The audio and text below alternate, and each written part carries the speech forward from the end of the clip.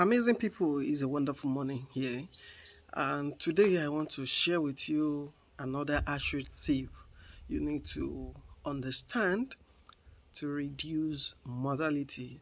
Now, straight to business.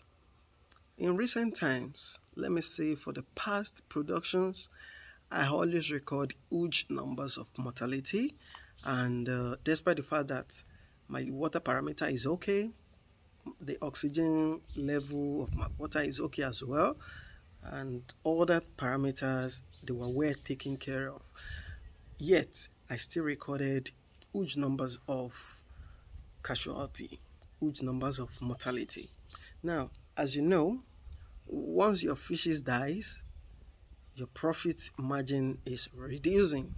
So what i actually did came into being like six days ago when on the job I got the inspiration to just skip night feed.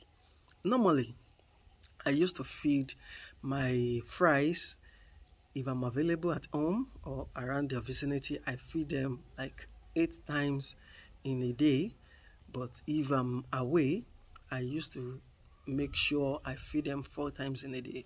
Actually, feeding your fishes will help them grow faster just like I told you in some other video.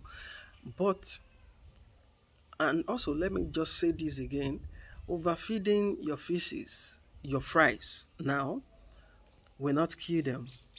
Because once they are filled they will not eat again.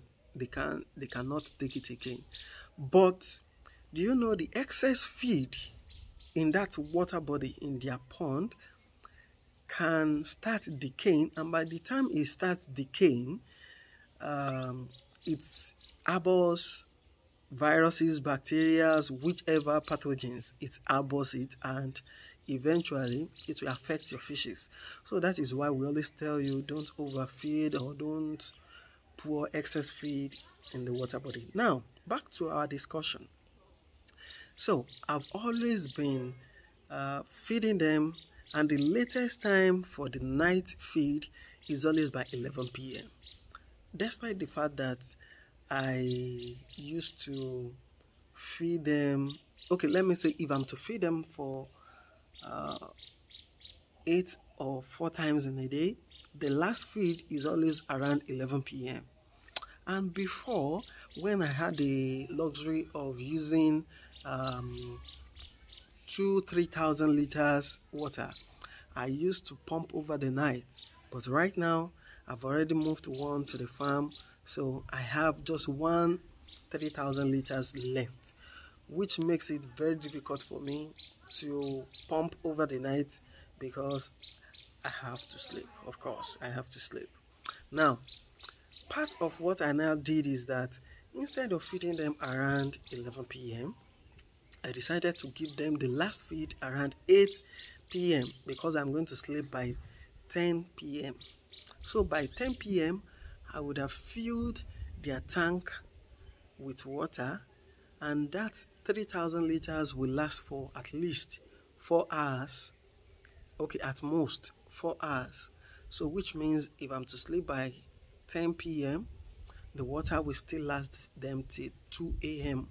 in the midnight. Now, I made use of aerator, and um, in the previous times, despite the fact that I still use aerator, I still recorded casualty. So, since the time I stopped feeding them around 11 p.m. and making my last feed for the day to be around 8 p.m., I've never recorded even single mortality like this. So, which makes it a tip I'm sharing with you. So, if you are also having the same challenges with me, so I think the best thing is skip the night feed. Even if you don't have aerator, skip the night feed so that at least the the water they've already consumed, the the feed you've already given them will not have impact on them because if they have a bloated stomach you won't you won't know you won't know and the fries they die easily because of any slight outbreak or discomfort. So, I want to believe you are deriving value in watching this tip, and I want to believe you will also apply it. And make sure in the comment section below this video if you try this and you saw results, feel free to comment so that people will know this method is working. As for me, it's worked for me, and that is why I'm sharing this tip with you. So make sure you subscribe to this channel if you have not subscribed. Without you, we cannot build a community. I want you on this channel. You are welcome and stay safe. Corona is real. Bye for now.